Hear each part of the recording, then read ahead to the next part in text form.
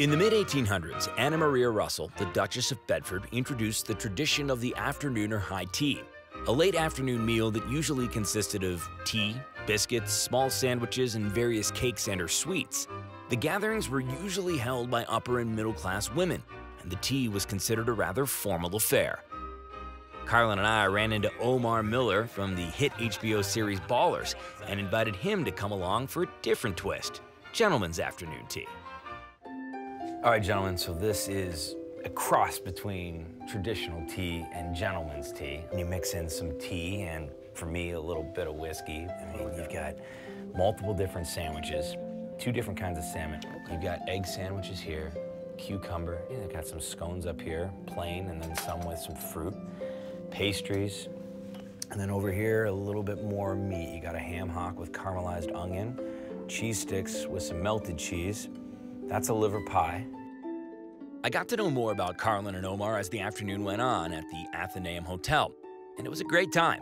Everything from their backgrounds to their professional careers and to their philosophy on what makes them succeed in their careers.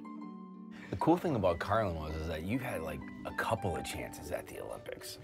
You could have potentially gone as a track athlete, and somehow a guy like you lands and is going now as a rugby player. That's pretty cool. Yeah, yeah. For you know, like for me, man, I always had you know had a vision, and uh, the, you know going you know playing in the NFL, which I got to do for a little bit, which was one of my dreams as a childhood, and I'm going to the Olympics, and you know you keep an open mind, and you know you let God guide you, guide you and direct you, and um, you have faith, and you just work hard, and who knows where to take you, and here I come, dream coming true, so just pay the Wow, way. that's awesome. So I gotta ask you a question. What inspires you? What motivates you every day? I grew up with constant reminders of that scripture of to whom much is given, much is required.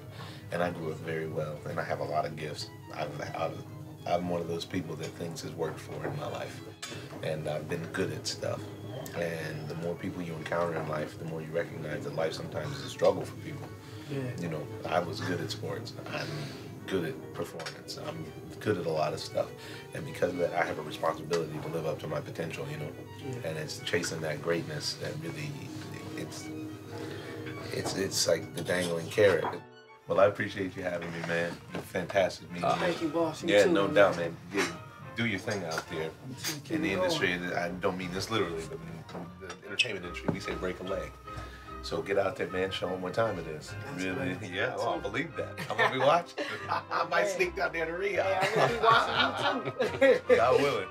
Yeah.